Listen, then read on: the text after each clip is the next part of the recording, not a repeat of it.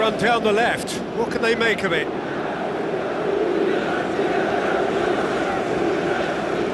Tries a through ball. Goal! Olympiacos. I just think he showed a lovely appreciation of where that defensive line formed and he held his run until just the right moment and he broke the offside trap and uh, he took full advantage. That's top marks for me.